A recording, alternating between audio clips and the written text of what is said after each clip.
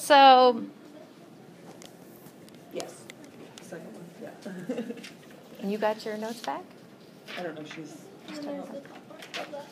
Yep, yep. So, can we just, are we good for now then? Yep.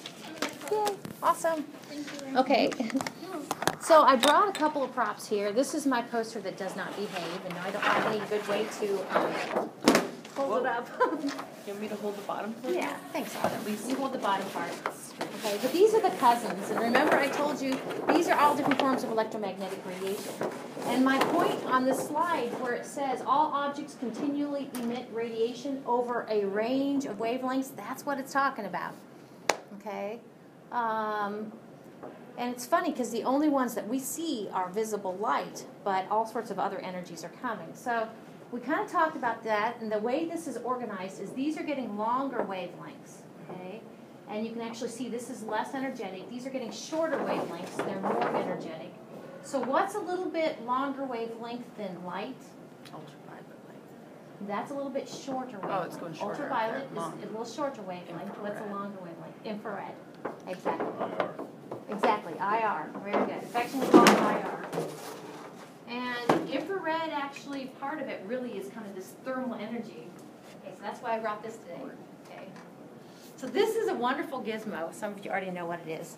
Um, so the way it works, that red dot has nothing to do with how it's sensing. It's basically just saying that, that this gun is pointed at that wall. What is it measuring here? Temperature. Temperature, exactly. Isn't that so fun? I can measure the temperature of that wall over there, 71. Maybe there's temperature of autumn, 86. I, I measure the temperature of my dog sometimes, you know. measure the temperature of that um, this display thing. Before she goes outside, 87? she shoots outside, too cold to go out. I'm too cold. I'll stay in. Right. It's just so fun. But in a practical way, um, like I, one of the things I do in my house, uh, I'm responsible for is covering the windows and trying to, you know, and so you can look for cold spots. You know, so it's really helpful. But I think fire people, fire, fire, really kind of can put this in the ashes to without Mhm. go stepping there, see if they have any hot spots. What they also use to do uh, body sensing. Body sensing, the Yeah, they go into a fire, a body temperature is different from the fire, maybe colder, okay. and they can use the uh, infrared reading to support different bodies. Ah, yeah, and that doesn't that bring in? There's like infrared photography. Actually, you can make um, your camera sensitive to any way, any cousin Yes. you want. And so, you know, isn't that neat? But our Your- cameras your are looking at visible your light. People's phone, iPhones can do the same thing. With the camera, you can Really? change the setting on, you can change your perspective on the reading of the. And it's looking, see, and, and that's what this slide is saying is that all objects, including us, you know, we see the visible colors and everything kind of, but we're also oozing infrared radiation. Do you think we're oozing gamma rays? No. But the sun is. okay, so that's one of the laws of radiation. And actually, we can make these curves to kind of show how much energy at different wavelengths that objects are oozing. Those are called radiation curves. So one of this thing is when you see these radiation curves here in a minute, the the more the energy, or sorry, the hotter the object, the more the energy it emits at all wavelengths, all different cousins. And the other thing, again, has to do with hotter objects, is the hotter the object,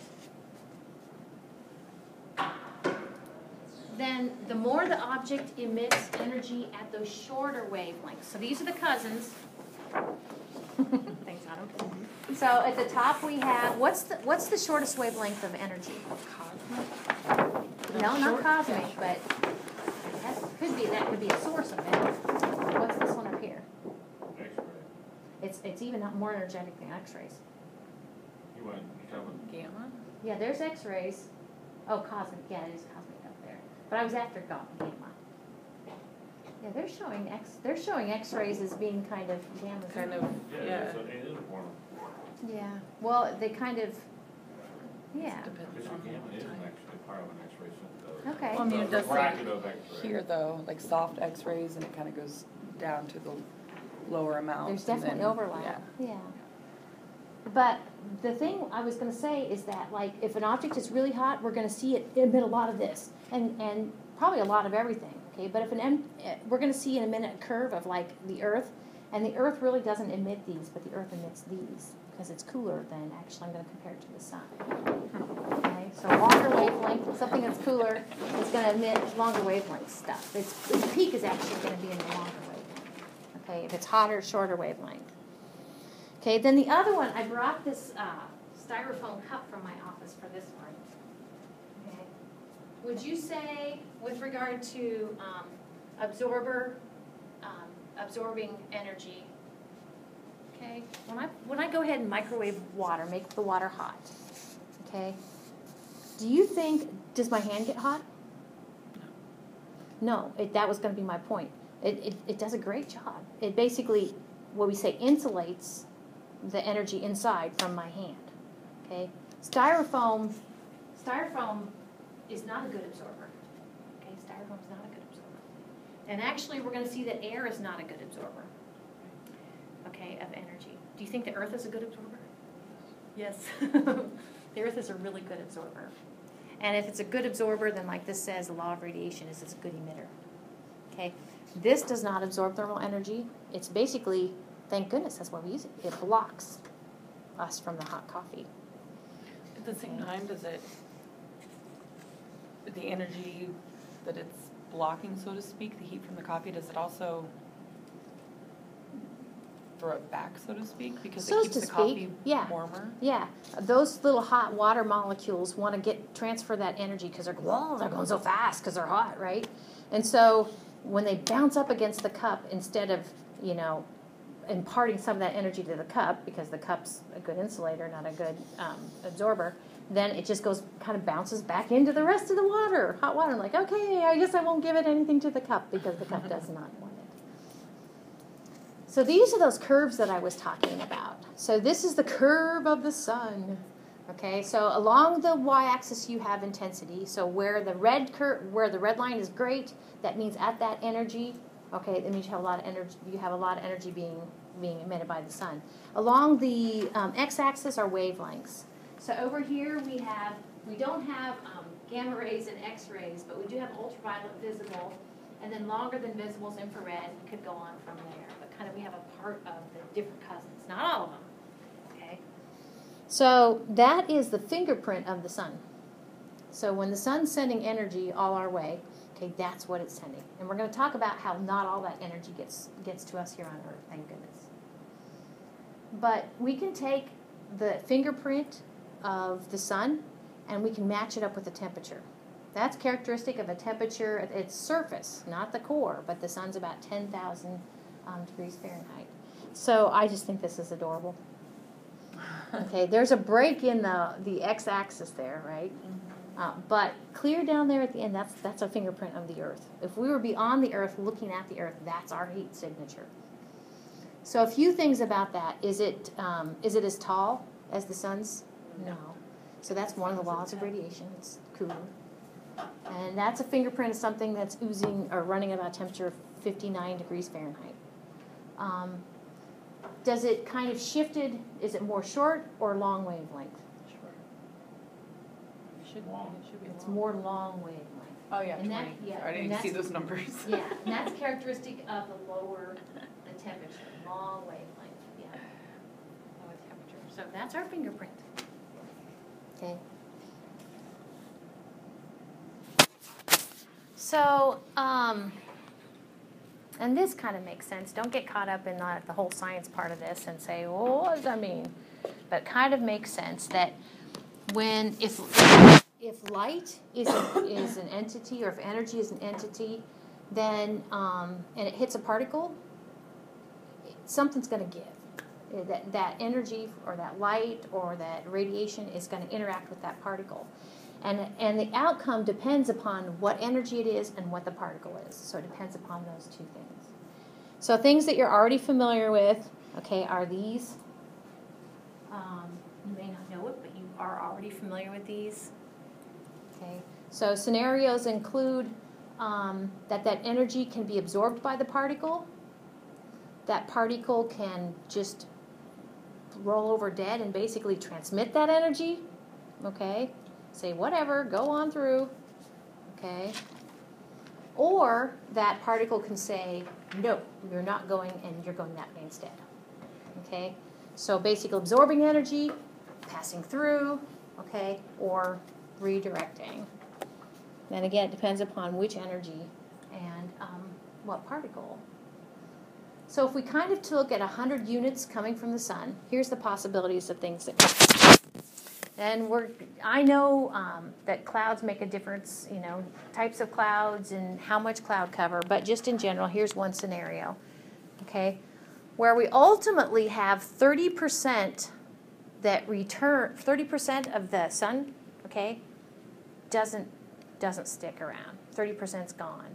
And it's kind of broken up in this scenario by 5% basically not even making it to the clouds, okay, uh, 20% making it to the clouds and leaving, and 5% actually making it to the Earth's surface and jacking out, okay? So that's 30% in this scenario. That leaves, what, 70% that can do something else with. Okay. So the 70% in this scenario that something else is happening are right. Do you see them? Where's my 70%? Absorption over the atmosphere. Yes, very good. That's one. Wait and see. Yes. That's the remainder of my stuff. Okay. Again, it varies, you know, from location to location. So 70%. So of that 70%, you told me that you think the Earth probably is unlike my styrofoam cup. You think the geosphere is pretty good at, you know, sucking up, and it is pretty good. That's why if you go up in the troposphere, it gets colder because you're getting away from the radiator. And in this scenario, 20% is absorbed by the clouds, and yeah, that does actually result in warmer clouds, kind of at that elevation. Kind of an energy balance. The other day, when I asked what happens on a sunny day if you wear a black shirt, you told me it gets warmer, exactly. So, in general, black has high absorptivity, black colors. Um, if you're wearing something black and light is hitting it, those are the two things. You know, light is the energy we're talking about. Your black shirt is the object it's hitting. Okay, high absorptivity. Um, so there are other things, not black shirts, but there we don't have black shirts in the Earth's atmosphere. but we did talk about ozone in the Earth's atmosphere as a variable gas, right? We said the good ozone is in the stratosphere. Okay, and actually, um, one of the things that ozone does is heat up. Okay, kind of like your black shirt. That's how it interacts with one particular energy, ultraviolet radiation. Water vapor. Again, black shirts aren't in the Earth's atmosphere. Something else that is in the Earth's atmosphere is another variable gas. And we'll be definitely talking more about water vapor, humidity, and all that. But water in its gaseous state is a little bit like ozone, okay, in that it is actually selective for not ultraviolet light, but infrared. So that's kind of the energy of the particle, okay, and it definitely responds to, to warming up. And down here at the bottom, you know, this is funny where people who've traveled, I love hearing your travel stories. Because have you heard the dry heat in Phoenix or whatever? Because the, you know, the humidity's low. But with low heat, or excuse me, low humidity, with low humidity, um, you don't have this effect of water molecules possibly kind of taking the sting out of the, the energy coming from the sun. So I don't know. Anyway, I know it's a small thing. Okay, so can you see the redirecting, the scattering? See the particle, see the energy coming in, and nope, you're out here. Okay, that's redirecting. These are both redirecting. These are both forms of redirecting. One is a mirror, like use a mirror. You're like, hey, I know where my image is going to be. Okay, that's like eh, purposeful redirecting. We call reflection. Okay, the other is like um, maybe take a piece of tinfoil and wad it up, you know, kind of fold it out.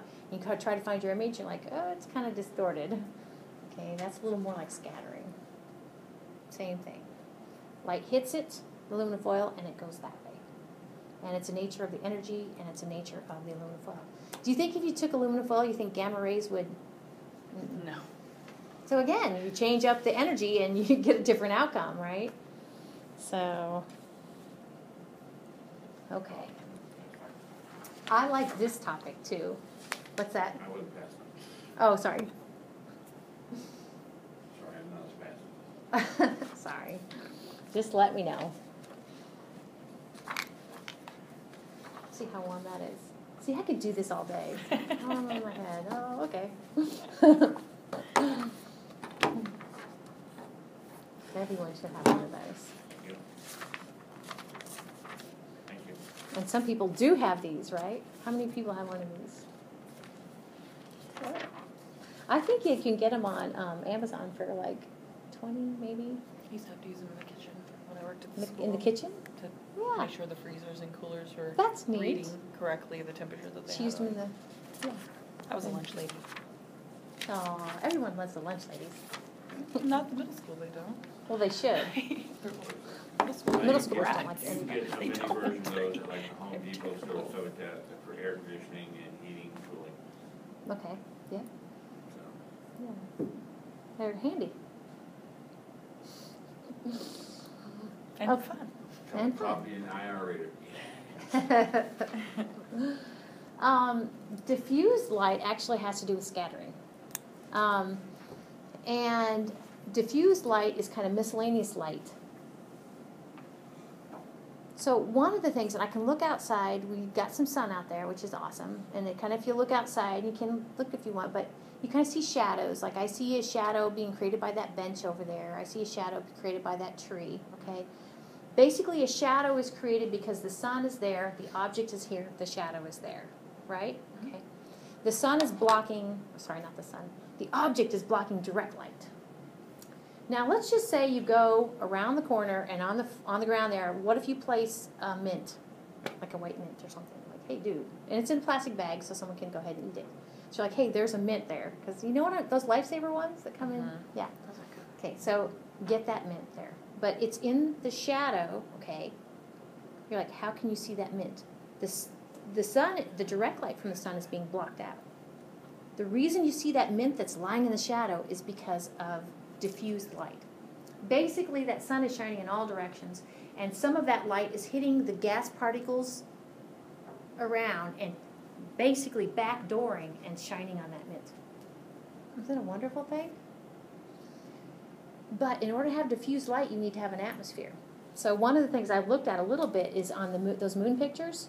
Okay, if you look at the daytime, like if the the part of the moon was in the daylight, okay, basically their shadows are deep and dark. 'Cause Diffused light, like on the moon, gas particles, not really, not so much. Okay, so diffused light is kind of that indirect light.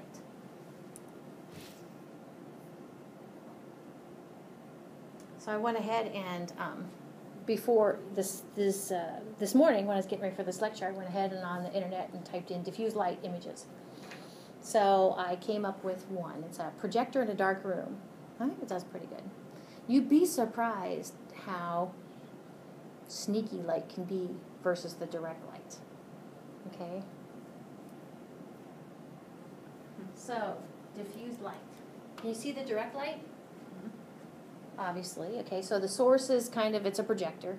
So you can see the source right here. Okay, and the direct light. Okay, it looks like it's got some sort of lensing sort of thing, so we kind of have a pattern. To me, that's all kind of direct light. Okay. And the thing about light is, um, once it leaves its source like that, it uh, basically kind of spreads out. So we have kind of a spreading thing going on. But this over here and over here, okay, that is your diffused light. I mentioned the topic of a mint. Okay, if you place a mint over there, okay, basically you're able to see that mint because some of this light is interacting with gas particles in the room going in all directions. Kind of random. Scattering. I just think that's neat. Okay. So, you probably, there's a good chance you ran, you run into this, this before. Back to visible light, you know, colors of the rainbow, visible light. Um, when you see an object, basically you are counting on um, like light from this room hitting that object and then that light coming back to you. So it's like a scattering or reflection. But specific to the color that you see, okay, if you're looking at, for instance, something blue, okay, if you something looks blue, it looks blue because blue is coming back. But you're like, dude, from that light bulb, everything's hitting that color, or excuse me, everything's hitting your shirt, but only blue's coming back. Well, out of everything, then, that means that everything but blue, that leaves red, orange, yellow, green, indigo, and violet. Those are the things that's staying, and only blue's coming out. That's why we perceive colors. And I think I go on to say, you know, we've talked about wearing black on a summer day. Okay. The thing about the color black, in terms of um, those little energies coming back from something that's black, is basically nothing's getting back. Okay, everything's absorbed. And the thing about white things, white shirts or whatever, is all colors come back. Yeah, all colors scatter back. So that actually kind of, in a nutshell, talks about why in the summer, uh, oh, excuse me, I shouldn't say just in the summer, the sun's got to be out, right? If the sun's out, black shirts will get you hot, uh, white shirts will keep it cool.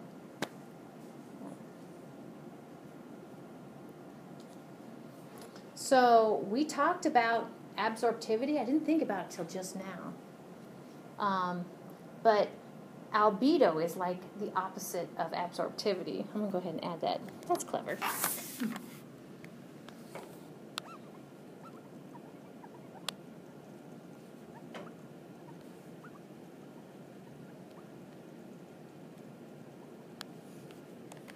And the reason, if you see the, the reason, so albedo is basically how much it reflects off.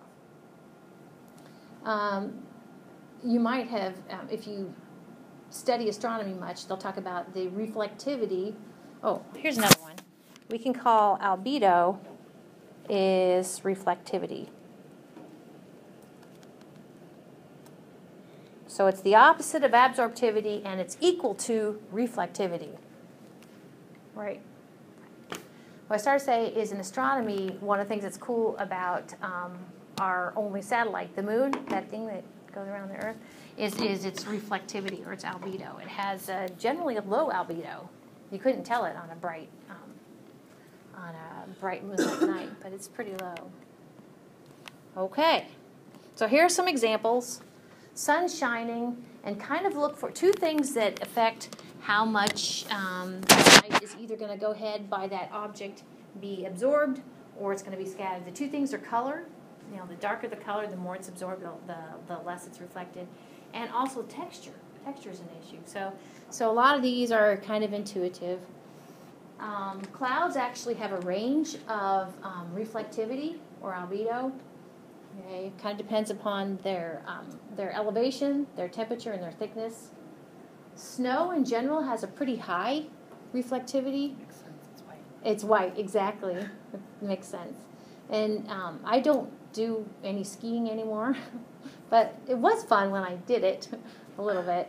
But you can get sunburn. Blinding. Yeah, it's blinding when you, Wear when you sunglasses ski. more in the wintertime, I feel like, than I do in the summertime. Exactly. sometimes. That snow can be so like um, just got a high It reflects the sun, the radiation of the sun back into you. It does. You're like stop, unless you're light deprived. Grass, eh, but it's definitely got a lower reflectivity. Darker color, kind of it's a texture issue. Sometimes grass is the grassy surface is hot. Yep. Yeah. Um, forests, there's green. They tend to kind of suck up energy, low reflectivity. Um, dark plowed fields. In uh, Unit 2, it's called, uh, no, actually, I think it's coming up in a minute. It's in this unit. It's called terrestrial radiation. See this mini radiator? Okay, that, what does terrestrial mean? Not. Terrestrial? No, terrestrial is, n- is not not of the earth, it is, Space, Of the uh, outer, what do we call? No, terrestrial means earth. Earth. Extraterrestrial. Yeah, extraterrestrial. I was like, yeah, extraterrestrial means an alien. A terrestrial would mean an earthling. Yeah, okay, good. okay, so um, this actually is terrestrial, meaning Earth, radiation. And for you visual people, when I think of this, this one, and I've kind of shown it before, okay, what's what's this down here? What's this with the hash marks? Nope, not the atmosphere. Geosphere? Geosphere, yep. This means the Earth, the geosphere, and uh, yeah, you're right. The atmosphere is atmosphere is here. So this um, terrestrial radiation is this. Does it look like oozing? Okay, basically that is the Earth being a mini radiator. Okay, we could do this. We could capture that. Okay. Terrestrial radiation. Here's one for bur- burrowing animals. Eh, eh, eh, eh. So it's quite possible to find a nice little insulated pocket that is near your your earth, and your earth retains its heat for a while. So that little burrowing animal has this fighting chance, okay, of surviving. Also, but their energy reflect Yeah, constantly off the. yeah, and their energy would be contained in the snow. Actually, is a good insulator. Yeah, the snow is a good insulator. I wouldn't want to push it, but um, you know, and some of these shows where you're stranded, you know, in a snowstorm. But yeah, Worth a chance. it is worth a chance. Okay, so that was the geosphere and kind of the kind of the um, terrestrial radiation. Switching gears now, when the sends when the sun sends us stuff, okay, it tries to send us stuff in our window, which may or may not be open. Our window may be open or our window may be closed. When I'm talking about that, I'm talking about the Earth's atmosphere and the sun sending us stuff. So, when it comes to what happens to that particular energy from the sun, it has to do with the two things we talked about before. It has to do with um, which component of the atmosphere um, we're talking about nitrogen, um, oxygen, ozone, and which form of radiation it is. So, remember when I said what sort of interaction is going to happen depends upon the energy and the particle.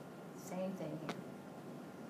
But bottom line is that what you're going to see here in a minute is we get the energy from the sun and we get the visible light from the sun. That's the important stuff. The other co- cousins are kind of window is what we say shut to go into them. You know, one of the things I was thinking about now, are you anybody else curious about the whole finding planets, other planets? Yeah. What? Finding other planets that are habitable, that humans can go to another planet and it's orbiting another star. But the thing is, is not only does it have to be the right temperature and, and, and, and pressure, but it, the atmosphere needs to kind of do this with the, you know, so. I don't hear him talking about that. Okay, so do you recognize the big energy come from from the sun? Okay, that was the the red line kind of outlines energies from the sun, and that cute little hump over there is the energy coming from the earth. And then along the the um, the x-axis is the different wavelengths. Okay. So if we pick on nitrogen, nitrogen is this sliver right here. Okay. Um, so notice um, we're kind of focusing on absorptivity. So basically, absorbs means takes away, right? So basically, we're saying nitrogen takes away, um, will block, if it's coming from the sun, nitrogen, those particles in our atmosphere will block these particular, where you see the spikes. Those wavelengths of energy are not going to leave or get through.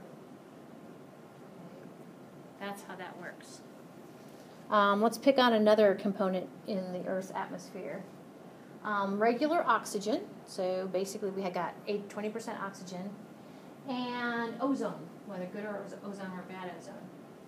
Notice that the important thing here, do you see this whole blocking, this absorptivity, um, O2 and O3? It is blocking this shorter wavelength, okay? But it's allowing a little bit of blockage here, but it allows other things, a little bit of a blockage, blockage here. Okay?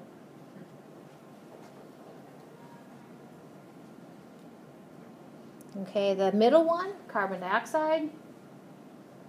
Okay, and I think that's it.